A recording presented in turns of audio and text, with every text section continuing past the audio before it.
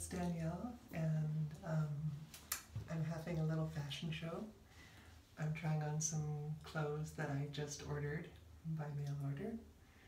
Um, I really like this dress. It's so bright and red. Um, it's super cute. What do you think? Keeper? I don't own a single red dress. What do you think? Hmm?